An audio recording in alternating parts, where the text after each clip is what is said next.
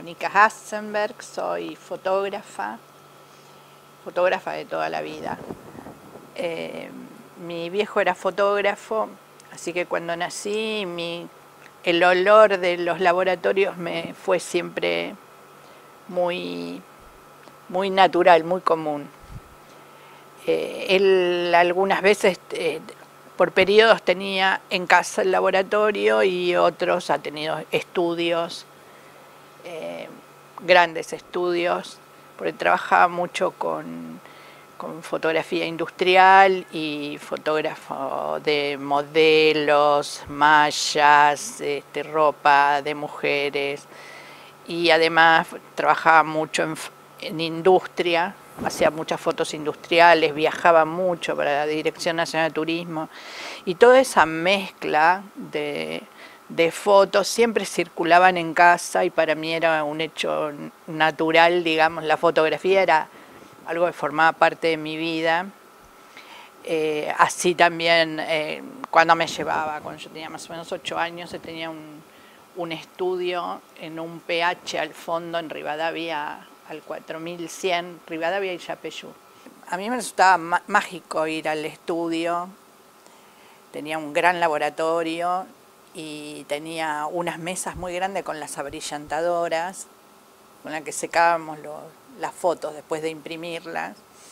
Y todo eso para mí, este, bueno, me pongo a, recordarme y me pongo en la niña de 8 años, que entre las luces, y el olor al laboratorio, que aprendí a identificar cada, una de, cada uno de los químicos, este, para mí era un lugar mágico. Pero además de mágico me parecía algo natural, era como que formaba parte de, mi vida como la escuela, como los amigos, el laboratorio y la fotografía eran algo natural. De hecho, cuando yo empecé a sacar fotos, mi papá me dio hasta la, Hasselblad para ir a sacar. Me acuerdo que fui una vez al Little Park cuando hice el primer curso que tendría 13, 14 años. Este, me dio la Hasselblad para ir a sacar fotos al Little Park. Y entonces, bueno, me acuerdo que una vez había sacado de la vuelta al mundo una serie de fotos de diapositivas, además, en 6x6 y y me acuerdo que él me dijo, esta es una foto fantástica por el, encuadre que le había dado a la vuelta al mundo, que eso para mí fue, bueno, nada, me gané la lotería ese día. Tampoco era una cosa que yo elegía, sino que era algo natural, era como cocinar en mi casa, ¿no? La fotografía. Y bueno, empecé a hacer cursos porque había cosas que mi papá no, no sabía explicarme. Entonces me decía, esto pasa por esto, por esto, por lo otro, pero yo no entendía la relación entre el diafragma y la velocidad, por ejemplo. Yo le preguntaba y mi papá me decía, no puede ser que no entiendas. Y yo no entendía, no entendía cómo era el proceso que se fijaba una imagen o, que se compensaba la luz y, y la velocidad. Hasta que hice un curso y empecé a entender ¿no? que era como un vaso, que la película o el papel el material fotográfico son como un vaso y la luz es como el agua. Entonces, vos podés llenar un vaso más rápido o más despacio de acuerdo a la cantidad de agua.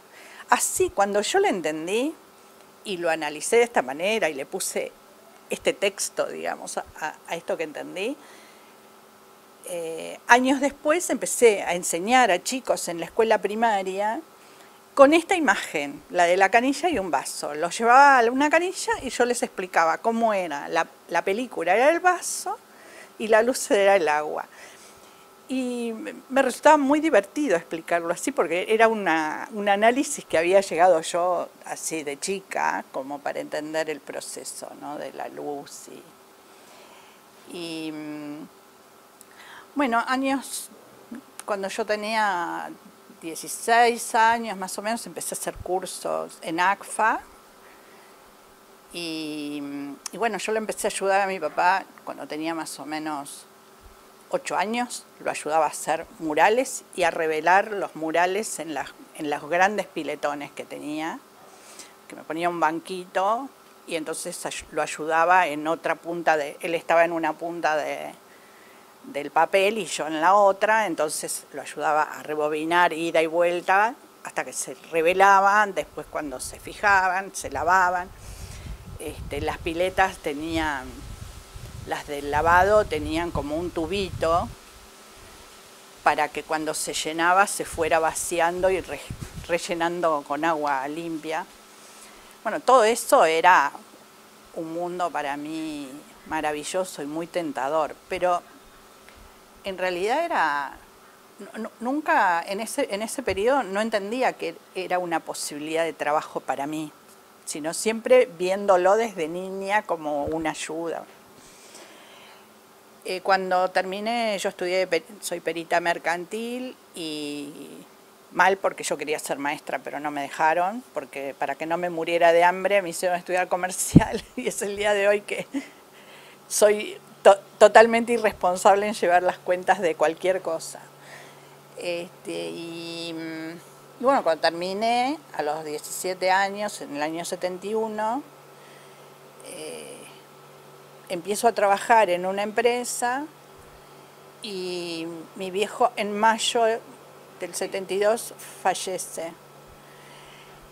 Así como todo muy de golpe porque tuvo un derrame cerebral y bueno, entonces ahí quedé que tenía que decir qué hacer porque en mi casa no había fondos como para que yo, mi mamá no trabajaba, era profesora de piano, pero tenía dos o tres alumnos y, bueno, yo tenía que, que, dejar, no podía seguir estudiando, tenía que trabajar. Entonces, eh, bueno, así en una reunión con mi madre y con amigos de mi padre, fotógrafos, este, me estimularon a que yo me ocupara del laboratorio y siguiera, pero además mi papá tenía ganadas licitaciones para hacer duplicados de diapositivas para Dirección Nacional de Turismo y después se trabajaba para bodegas, para distintas industrias y en esa época las empresas necesitaban carpetas para mostrar los productos para vender. Entonces los vinos, por ejemplo, tenían tenía que hacer, qué sé yo, 100 copias de cada, de cada foto para hacer las carpetas para los vendedores. Y entonces, bueno, así fue que, que algunas cosas me ayudaron, algunos fotógrafos, amigos de mi papá, las cosas que yo no sabía y las, para ponerlas en práctica. Y, y bueno, este, así empecé con la fotografía. Yo tenía 17, 18 años. Empecé terminando licitaciones, hacía reproducciones de, de diapositivas. Mi viejo trabajaba para tenía licitaciones ganadas en Dirección Nacional de Turismo, que en esa época estaba Víctor Iturralde con Jorge Rillo, y ahí en el departamento de fotografía, y yo los conocía hacía muchísimos años desde chica y bueno, ellos me dijeron, si vos querés, eh, seguís con la licitación de tu papá y yo después gané otras licitaciones también, pero seguí haciendo la reproducción de, de las diapositivas.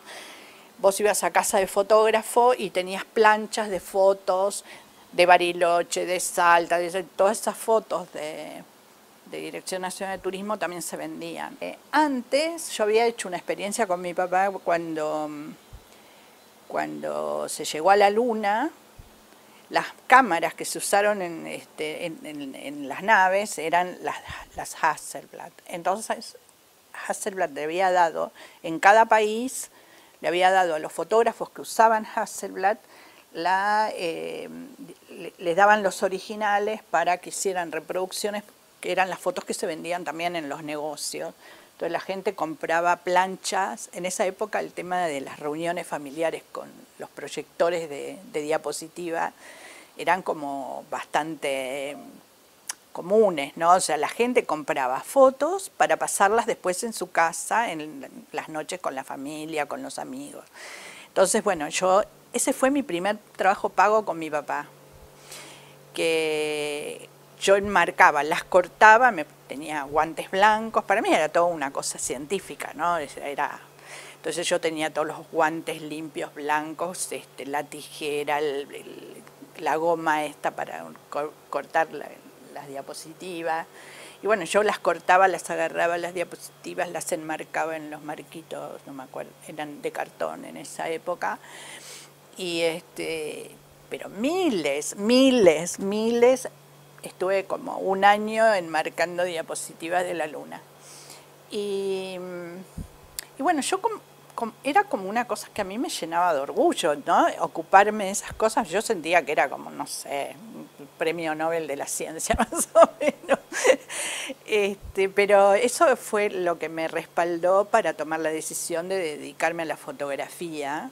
A partir del 72 yo tenía 10, cuando él falleció yo tenía 17 años. Cumplí los 18 ya agarrando la cámara con la decisión de... Pero me pasó durante muchísimos años que no tuve la certeza de que era una elección mía, sino que bueno, la vida me había llevado a elegir eso, porque nunca lo había tomado como una cosa de, una profesión para mí, porque era tan natural que no era, o sea, yo iba a estudiar análisis de sistemas y iba a trabajar con computadoras, eso era lo que yo había decidido hacer. Por supuesto no lo hice y en ese momento si lo hubiese hecho hubiese aprendido a usar las computadoras esas con tarjeta perforadas que estaban acá, iba a estudiar en la UTN. Y bueno, y por otro lado esa decisión, años después yo pensé que ese hecho fortuito, que mi viejo se murió y yo no fui a la facultad, creo que me salvó la vida porque en esa época la UTN fue digamos, no en el 72, pero después este, todo ese núcleo de gente fue muy peligroso y yo seguramente hubiese empezado a militar políticamente, porque en mi casa no se hablaba de política, pero, pero yo sí tuve la inquietud muy jovencita de leer y de, pensar en la justicia social, eso me daba... Eh, me, me horrorizaba las diferencias de las clases sociales, eso para mí fue algo que me marcó, pero es una cosa interna mía, ¿no? La injusticia me revelaba absolutamente. Considero que el no haber hecho la facultad a mí me salvó de, todo lo que pasó en los ámbitos universitarios, este, después en la dictadura, digamos. Para mí era un trabajo, no era una pasión, era un trabajo y y así la veía la fotografía.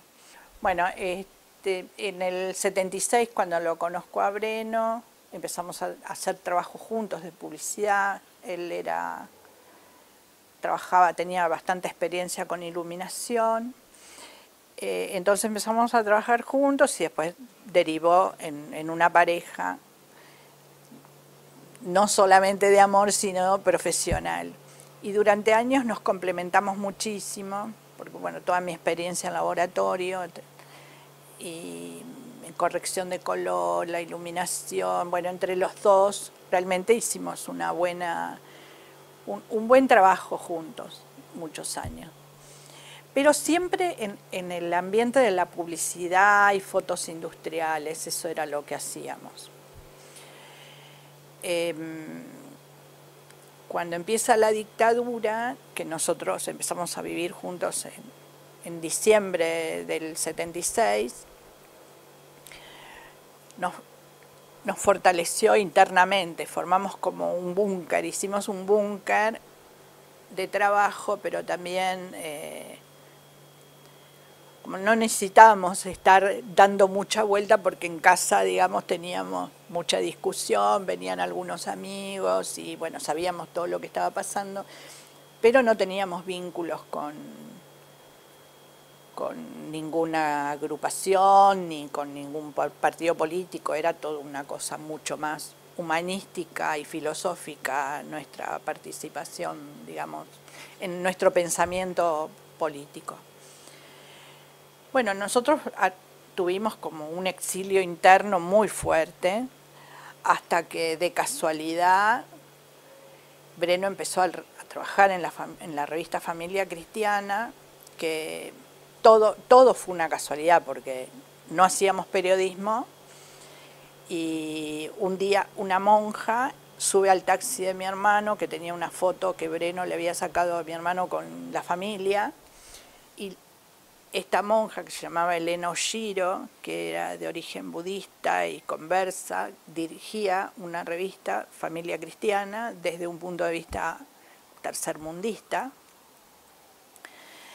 Y bueno, le da una tarjeta a mi hermano y le dice que necesitan un fotógrafo, que le gustó mucho esa foto.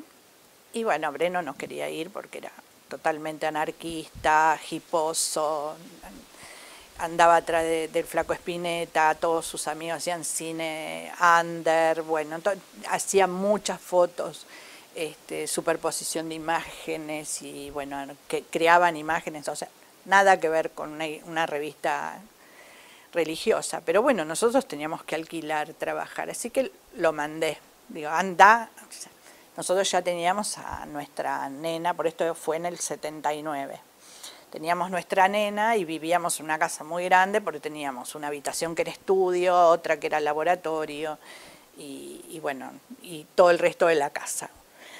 Entonces, este, bueno, Breno va y habla con Elena Oshiro y vuelve con la decisión de que a él no le interesaba nada, ¿no? pero trajo varias revistas Familia Cristiana. Yo me pongo a ojearlas y empiezo a ver que había entrevistas a, a Boff, este, a curas de la teología de la liberación, y eso en ese momento era absolutamente raro. realmente ver, ver esas notas eran... Y los periodistas se notaba que tenían, que hacían preguntas diferentes, digamos.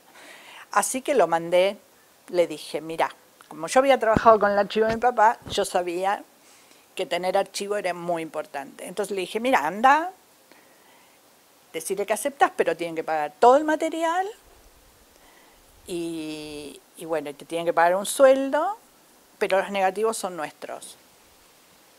Y así fue que, fue la decisión. Él impuso eso, pagaban todos los materiales, el sueldo era nuestro alquiler, que ya o sea, teníamos una, casa muy grande, eh, vivíamos en San Telmo, y, bueno, el, sueldo era el alquiler y ahí empezamos a hacer archivo, porque el, el IBE hacía, hacía fotos, notas periodísticas, y además, bueno, con el tiempo se hizo muy amigo de los periodistas, que eran, estaba Carlos Arroyo, este, que, también trabajó muchos años después en, Clarín, en, internacionales, Carlos Troncone, que dirigió la revista del Teatro San Martín, eran re grosos, trabajaba Susana Iskovich haciendo toda la parte infantil, y varios que no podían, no podían trabajar eh, este, porque estaban prohibidos o semi-ocultos, y trabajaban, ahí la revista, las monjas les daban les daban trabajo. Así que era un lugar fantástico para estar este, trabajando en plena dictadura. Y mm, después cuando vino el Papa, y Breno se subía a todos los aviones, tenía pánico, así que vivía tomando pastillas para el pánico, siguiéndolo al Papa en avión, este, recorriendo la Argentina. Y ahí, bueno, yo, él llegaba, traía los rollos, revelaba yo y las entregaba y ahí le daba las fotos a Emilio Miñones, me acuerdo perfectamente de esas escenas.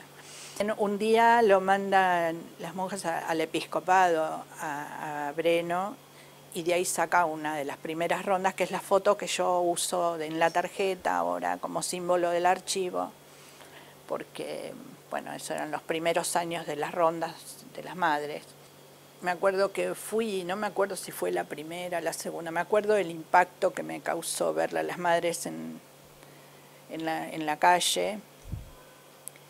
Y yo estaba parada en la vereda y pasan las madres y yo lloraba, lloraba, lloraba y una madre me agarró, me abrazó y me hizo este, sumarme a la marcha.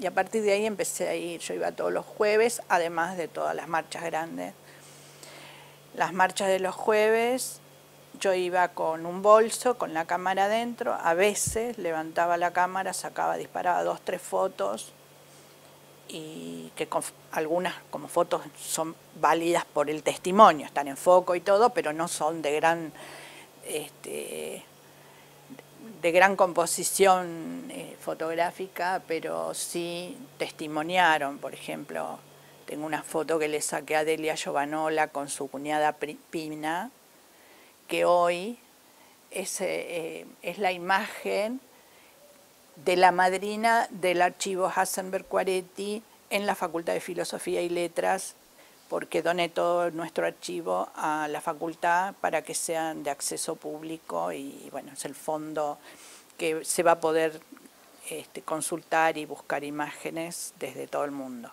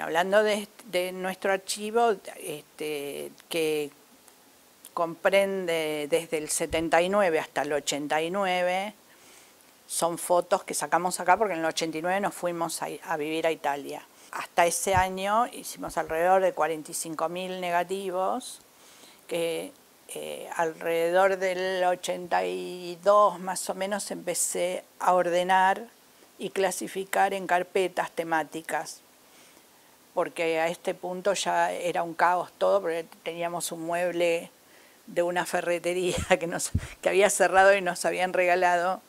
Y entonces empecé a separar por cliente, después por tema por cliente. Y bueno, era un caos buscar una foto. Yo salía a vender y, era muy difícil a veces buscar lo que nos, nos pedían. Em, entonces ahí fui a comprar unas carpetas y compré las hojas para poner los negativos y, bueno, había algunas personas que yo no me acordaba, así que andaba corriendo lo a Breno, que tenía una memoria impresionante y se acordaba de los nombres de todos, así que pude clasificar bastante bien. Eh, esas 45.000 fotos están divididas en carpetas temáticas, todos negativos de 35 milímetros sacadas con Nikon, y copias en realidad eh, eran todas entregadas, teníamos una serie de copias, pero cuando fuimos a, Italia las fui regalando y tengo muy pocas copias de esa época.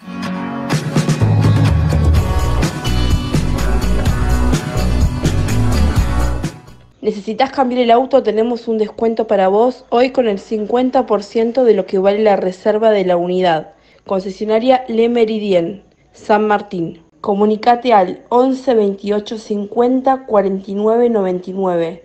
Asesoramiento Belén Pisani. Descuentos hasta 100 mil pesos.